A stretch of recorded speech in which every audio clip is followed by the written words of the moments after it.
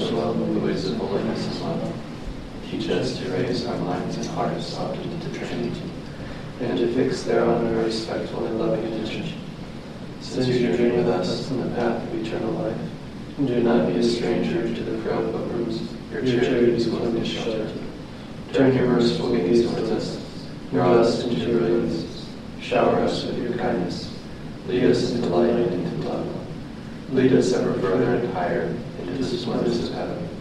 Let nothing ever trouble our peace, nor make us leave the thought of God, but let each minute take us further into the depths of the mystery, until the day when our souls, fully blossomed by the light of divine union, will see all things in eternal love and unity.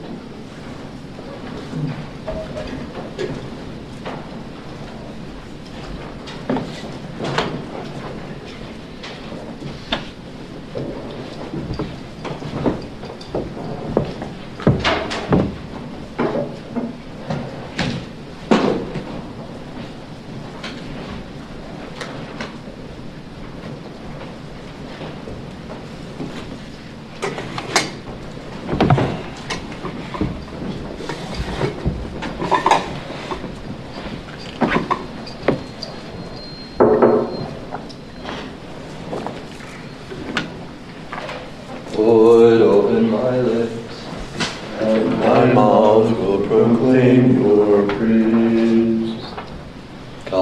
Come, let us sing joyful songs to the Lord. Come, let us sing joyful songs to the Lord. Come, let us ring out our joy to the Lord. Hail the rock who saves us. Let us come into his presence giving thanks. Let us hail him with a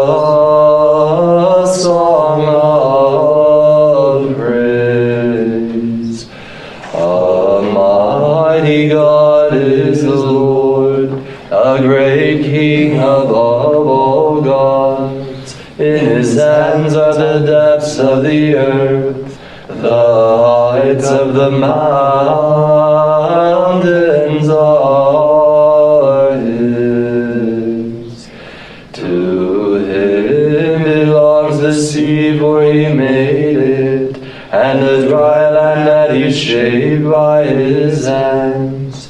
Oh, come, let us bow and bend low.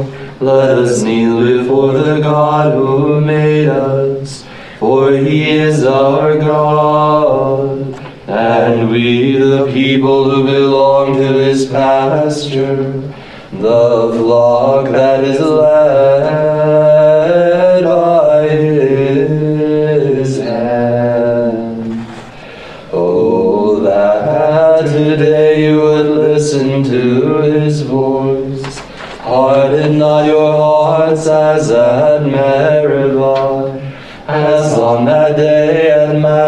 in the desert, when your forebears put me to the test, when they tried me, though they saw my work. For forty years I wearied of that generation, and I said, Their hearts are astray. This people does not know my ways. Then I took an oath in my anger, never shall they enter my rest.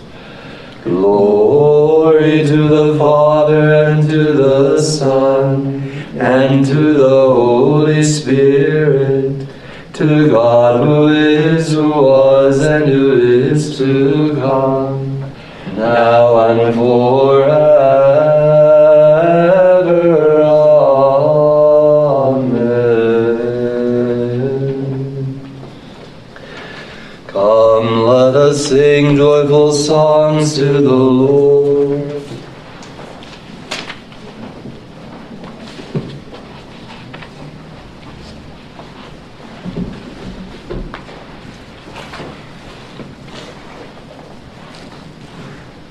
The light came into the world, but men loved darkness. God stands in the divine assembly. In the midst of the gods, he gives judgment. How long will you judge unjustly and favor the cause of the wicked? Do justice for the weak and the orphan. Defend the afflicted and the needy. Rescue the weak and the poor. Set them free from the hand of the wicked. Unperceiving, they grope in the darkness, and the order of the world is shaken. I have said to you, you are gods, and all of you sons of the Most High. And yet you shall die like men, you shall fall like any of the princes. Arise, O God, judge the earth, for you rule all the Glory to the Father, and to the Son, and to the Holy Spirit, to God who is, who was, and who is to come, now and forever. Amen. The light came into the world, but men loved darkness.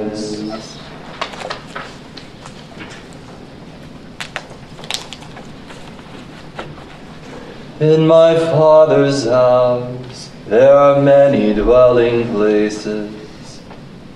How lovely is your dwelling place, Lord God of hosts. My soul is longing and yearning, is yearning for the courts of the Lord. My heart and my soul ring out their joy to God, the living God. The sparrow finds herself a home, and the swallow a nest for her brood.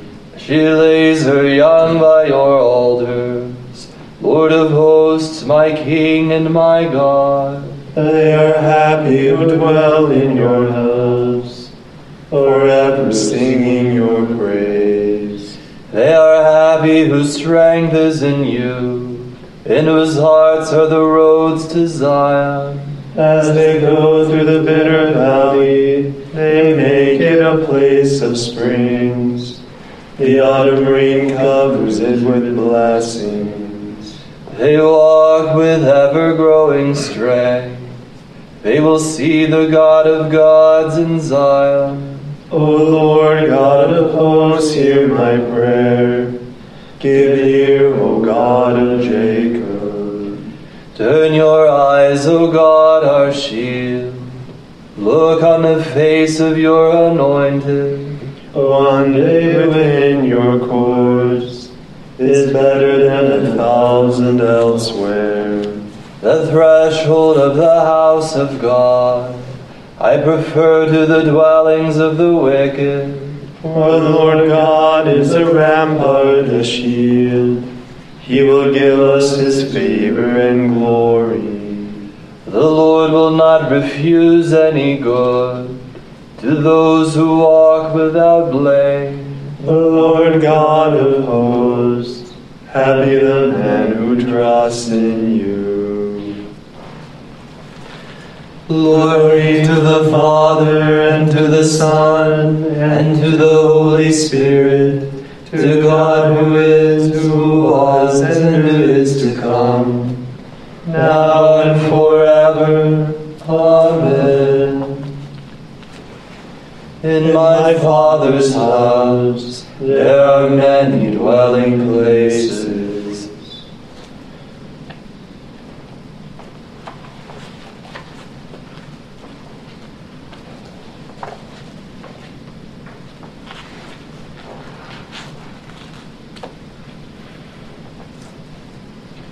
In these last days, God has spoken to us by a Son.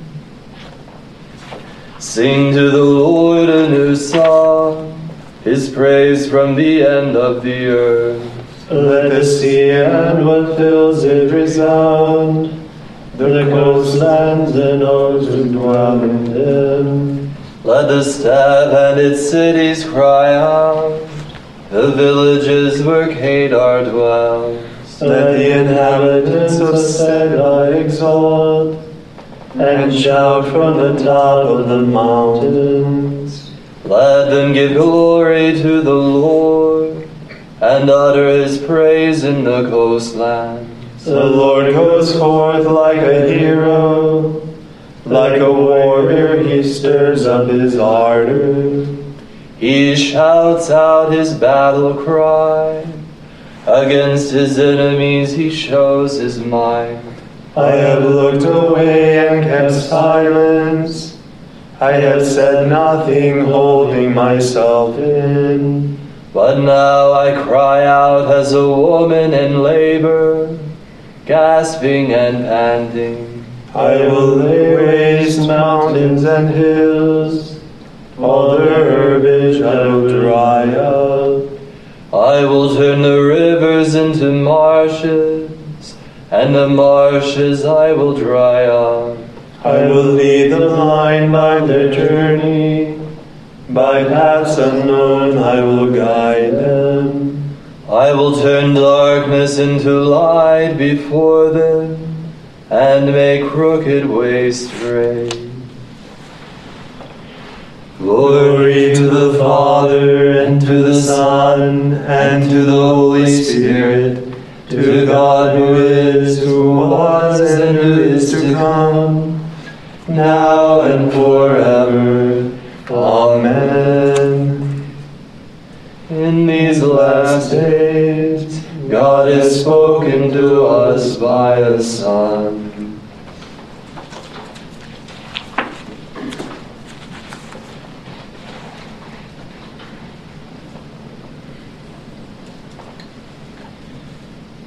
As his majesty is, so also is his mercy. The Lord is king with majesty enrobed.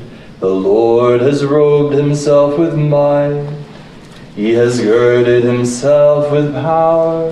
The world you made firm, not to be moved. Your throne has stood firm from of old.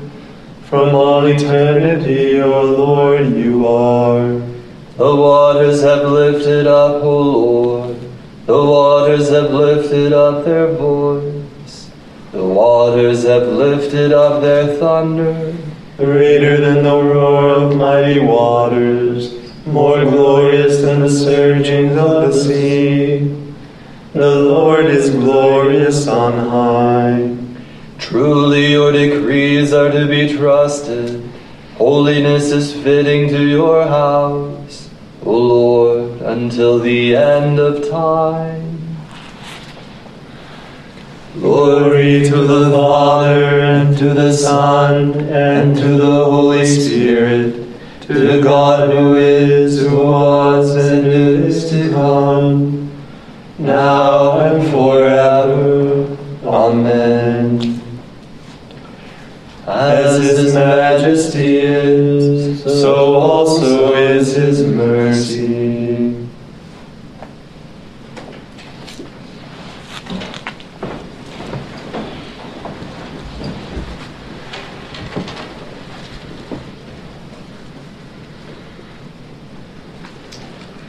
A reading from the book of Judith. We should be grateful to the Lord our God for putting us to the test, as he did our forefathers. Recall how he dealt with Abraham, how he tried Isaac, and all that happened to Jacob in Syrian Mesopotamia while he was tending the flocks of Laban, his mother's brother.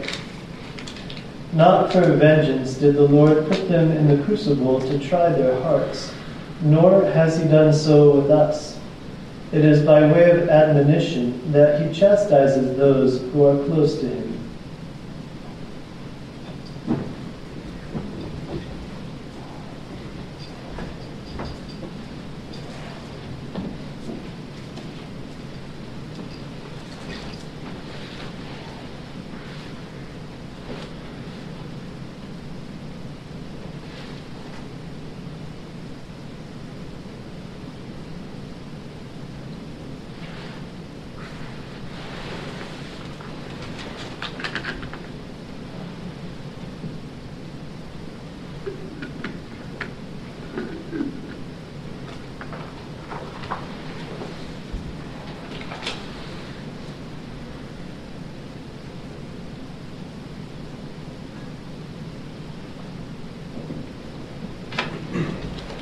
Mode one.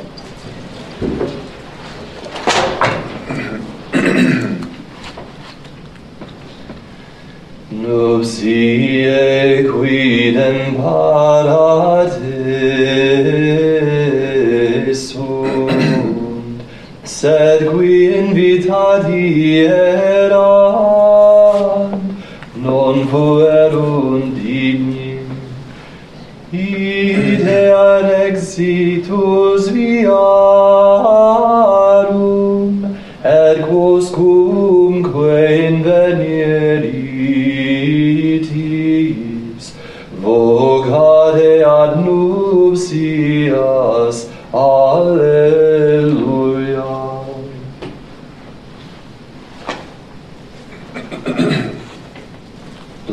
Blessed be the Lord, the God of Israel. He has come to his people and set them free. He has raised up for us a mighty Savior, born of the house of his servant David. Through his holy prophets he promised of old that he would save us from our enemies, from the hands of all who hate us. He promised to show mercy to our fathers and to remember his holy covenant. This was the oath he swore to our father Abraham, to set us free from the hands of our enemies. Free to worship him without fear, holy and righteous in his sight all the days of our life. My child, shall be called the prophet of the Most High, for you will go before the Lord to prepare his way, to give his people knowledge of salvation by the forgiveness of their sins. in the tender compassion of our God. The dawn from on high shall break upon us. To shine on those who dwell in darkness and the shadow of death, and to guide our feet into the way of peace. Glory to the Father, and to the Son, and to the Holy Spirit, to God who is, who was, and who is to come, now and forever. Amen.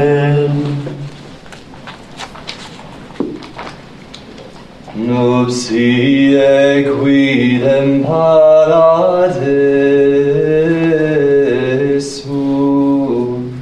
sed qui invitati erant, non fuerunt in me, ite ad exitus via,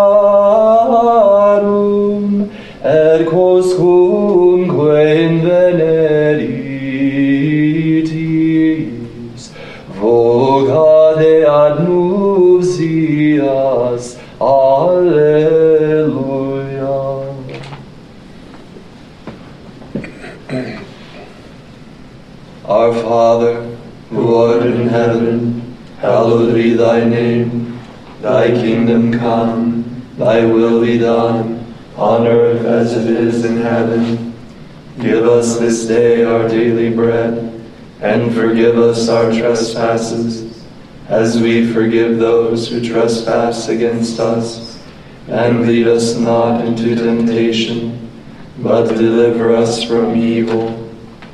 Let us pray. O God, who alone are holy, and without whom no one is good, command, we pray, through the intercession of the good thief, that we may be numbered among those who do not deserve to be deprived of your glory.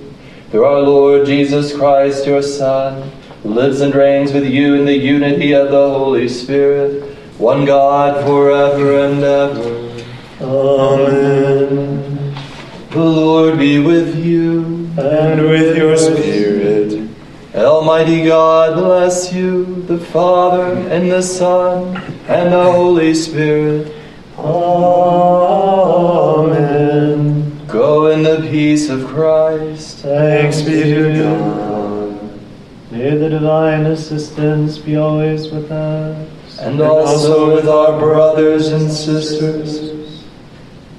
O shining star of the church, who reflect the Father's light, by revealing to us the mystery of the Word, eternal fruit of his bosom, source of all life and of all truth. O beloved disciple of the Word made flesh, who at the Last Supper rested your head upon his heart, drawing the secrets of the Father's beloved Son and of the Savior of all.